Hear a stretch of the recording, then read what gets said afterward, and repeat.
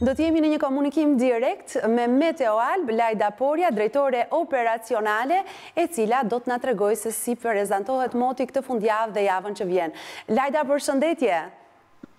Përshëndetje, mirë se ju gjej në Vila 24. Ndihet energjia jote sot, ndoshta edhe prej diellit që ka dalë, e meqenëse kemi një ditë shi e një ditë diell, edhe fundjavën le ta ndajmë, si do të jetë dita e shtunë dhe si paraqitet moti ditën e diel që ndoshta edhe të organizohemi për të gjithë ata që e kanë fundjavën pushim.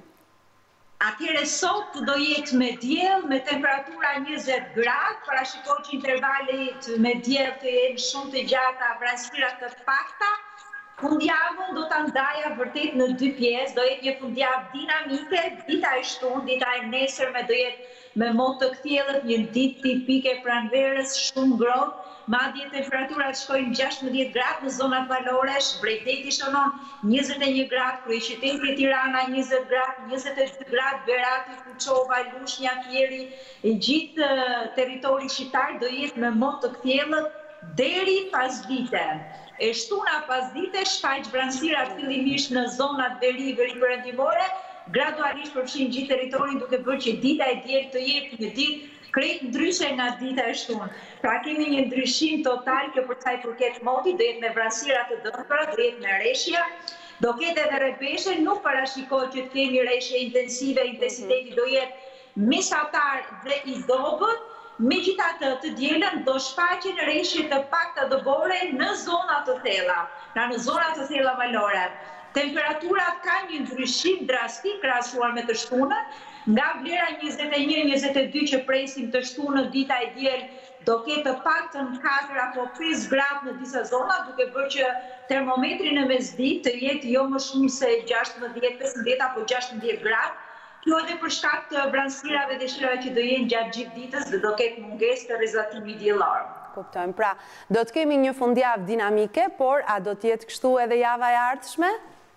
Më në fund do thoja që javën e ardhshme të paktën deri nga dita e enjte dhe e premte pasi fundjava është shpejt dhe ne do lidhemi sërish, do kemi mot të kthjellët Temperatura të larta ato ditët tipike të pranverës të munguara, parashikohet që temperaturat të jenë shumë afër parametrave klimatikë lehtësisht mbi mesataret mujore, ku do të kemi vlerën njëzet e dy apo njëzet e tre gradë nga mesi i javës. Megjithatë, më në fund do të shikojmë disa ditë me diell, duke qenë se prilli përgjithësisht ka qenë Dy ditë me diell, një ditë me shi, dy ditë, kështu që na pret një javë nga e hëna deri të premten që do jetë kryesisht me diell.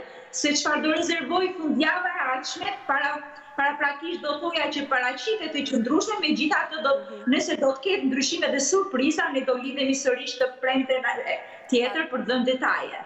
Patjetër.